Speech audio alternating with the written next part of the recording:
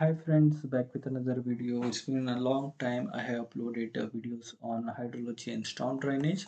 So in this video we are going to learn about the roof rainwater harvesting uh, design with a case study example. So we will uh, learn the concept and we will uh, mm, try to based on this concept we will try to learn uh, the learn the case study design for a uh, two-story residential building. So how can we design this um, uh, roof rainwater harvesting system okay? Uh, so here in this video we are going to uh, learn how to compute the uh, runoff rate for the roof and we'll try to design the storage tank based on the runoff volume and we'll try to um, we'll try to calculate and design the economical size of these channel gutters which is conveying the uh, the rainfall water towards the storage tank okay? So this method is uh, uh, based on the central groundwater commission so which is uh, very much used uh, it's in practice currently in uh, india indian region okay? So here i will have a case study example okay? So in this case study example with the rainfall and this uh, in this runoff rate so we'll calculate the the its storage tank size and the uh, and the size of the channel gutter based on the uh, the, the, maximum rate of runoff. Okay? This is our main objective of uh, of this uh, video. Okay? So let's uh, begin this and understand more on it. So let's consider this case study example. So where we are going to design the rainfall uh, rainwater harvesting system for a single story building okay so here if you see uh, in the example they give, they have given us that the a house has sloping roof of uh, gi sheet with an roof area of uh, uh 50 square meter and the owner uh, owner of the house has uh, five members has family of five members and design the roof uh, uh, design a roof rainwater harvesting system. So we have the rainfall data of uh, last 10 years so which is occurred. So it's a peak rainfall which is occurred in uh, in a days okay?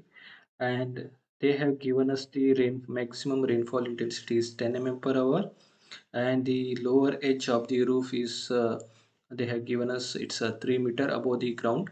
So whatever we design the tank it should not be more than this height 3 meter. It should be well below the 3 meter height so that water should uh, we, we can easily convey the water from the roof towards the storage tank okay? So here we have this uh, datas okay? So they have given us the they have given us this uh, uh, this uh, rooftop area uh, this is the rooftop GI sheet area so that is this area. This overall area is uh, 50 square meters okay they have given to us. And they have if you see here they have given us the rainfall data uh, from uh, uh from uh, last past 10 years. And the highest one is uh, 380 highest one is 380 highest one is the 380 and the lowest one is in this uh, uh, row of data is uh, 300 okay so if you see the highest data that is 380 it is less likely to occur. That's a single event. In a 10 year it is more likely to occur in a one time in this 10 year. So if you go for this second uh, the lowest limit that is 300 mm of the rainfall which occur it is the lowest limit which is occur which occur more likely to occur in the all of the far uh, all of the year of based on the 10 years of the data so it is much more reliable to, go for the lowest limit. The lowest limit of the rainfall depth is 300 mm so we'll consider the lowest limit that is 300 mm rainfall depth in our design. Okay so we'll consider this as a design. This rainfall depth as in our design. Okay.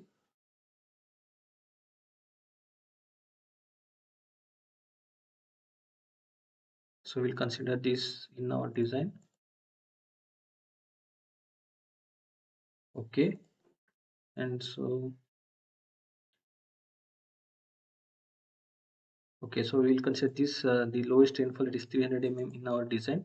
So we have the cgwb table so which will calculate uh, which will uh, shows us the which will uh, which will shows the like uh, what is the total rainfall available runoff uh, sorry it is total rainfall volume available for the rainwater harvesting.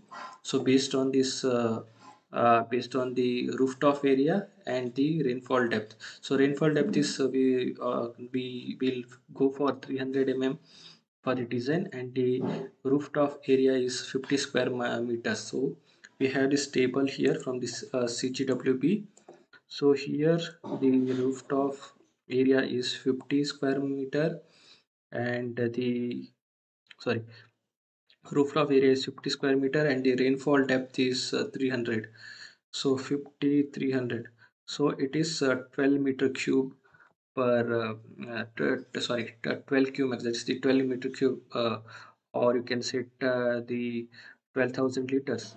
So i'll just type it here. The total total rainfall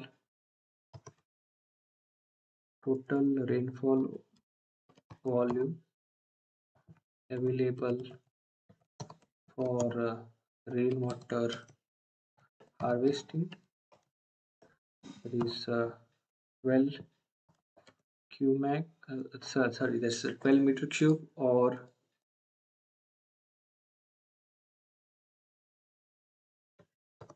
12,000 liters of the water which is available. Okay so based on this uh, uh, 12 cubic or uh, uh sorry uh, 12 uh, cubic meter or the 12,000 liters so we will try to calculate the size of the, rainfall. Sorry the, we will calculate the size of the storage tank. We'll size the we'll calculate the storage tank based on this rainfall. That is we we have found from this table so that is uh, uh 50 uh, for 50 meter square meter of the rooftop area and the um, and the rainfall depth of uh, 300 300 300 m that is 12 12 meter cube or 12000 liters okay?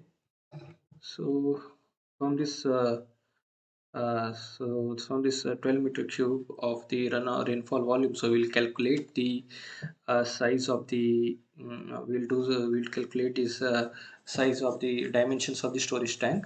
So i will consider the diameter of the storage tank as uh, 3.2 diameter is equal to 3.2 meter and uh,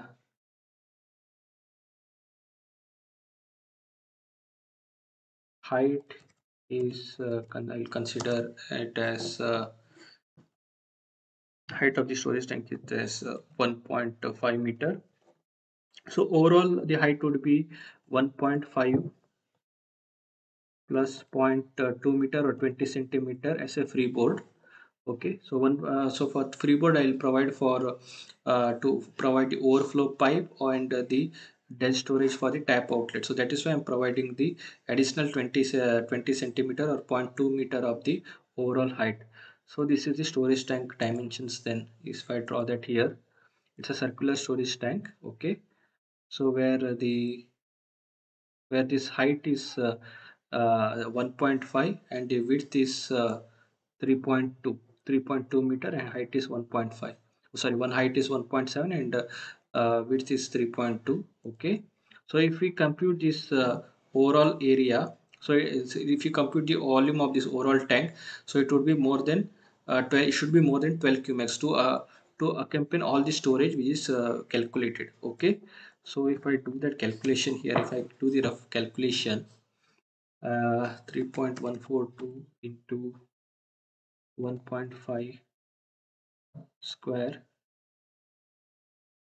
Uh, 1.5 square. And uh, pi by 4 okay sorry pi by 4 pi by 4 d square into 1.5 the height. So it is uh, mo more than uh, uh, 12 meter cube. So which is uh, which is well within our design. So it is more than 12 meter cube. Uh, it will if we compute so it is uh, well within our design. And the final size would be 3.2 by 1.7 so with this one is 1.7 meters with freeboard. With the height of the tank with freeboard okay? So that will be our final dimensions. So final dimension of the tank would be so the final di dimensions of the tank would be 1.5 sorry 1.7 meter height and uh, and uh, 3.2 meter width okay that is the final dimensions of our uh, storage tank okay? So that we have calculated it okay? So now comes the second part. So in this second part we will calculate the size of the channel gutters size of the channel gutters we have to calculate okay so for the size of the channel gutters so we have to calculate this channel gutters so which is conveying the runoff water from this uh, uh, from this channel gutter so it will convey to the storage tank. So we have to calculate the size. So here i'm uh, uh, considering the half circle section like this for the uh, in my design. Okay. So first we need to calculate the uh, the maximum runoff rate which is generating uh, which is uh, generating from this rooftop. So what is the maximum runoff rate? So for so let's compute the size of the channel gutter. So this is the size of the channel gutter. Uh, so for, for before this uh, calculating the size of the channel gutter we need to calculate the uh, the maximum rate of runoff which is generated from this rooftop. Okay. So we have to apply the we have to apply this uh, rational method of hydrology to find the maximum runoff rate from the rooftop surface. Okay so we know the area that is the roof area that is 50 square meters and we know the maximum rainfall intensity is 10 mm per hour and we know the um, and we know the for this uh, roof area i will consider the uh, runoff coefficient of 0.9 so there will be that means there will be 10 percent of the rainfall losses and rest will be 90 percent would be changing into runoff okay? So runoff coefficient for the roof surface uh, would be 0.9 okay? And based on these uh, parameters I will calculate the maximum runoff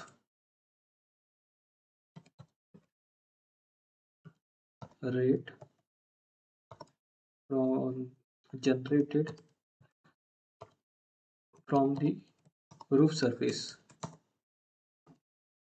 Okay so i will apply the uh, formula. So this is a rational formula. So i know the area that is uh, 50 square meters and uh, i know the rainfall intensity that is uh, 10 mm per hour. So i'll convert it to meter meter per second in uh, from mm to mm per hours to meter per second. So for to do that i'll do this conversion factor 1000 so 1000 is to convert from uh, meter mm to meter and 60 into 60 to convert from hours to second okay? And after that this this runoff coefficient it is 0.9 here. So 0.9 this is the runoff coefficient of the uh, surface. So so this is the uh, runoff rate which is generated from the uh, runoff rate which is generated from the roof surface area that is qmax okay? So that is in the qmax or you can say in meter cube per second okay? So if we convert it to liter so i can multiply it by into thousand to convert it to liter per second. So this is the liter per second rate and it's in, term, in terms of qmax okay i'll consider this as a reference. Okay. So i'll consider this as a reference. So based on this uh, discharge this is the peak discharge uh, Mm, based on this uh, sorry based on this maximum runoff rate so I will compute my channel size. This is the, my channel uh, this channel channel gutter size based on this uh, uh maximum runoff rate. Okay. So I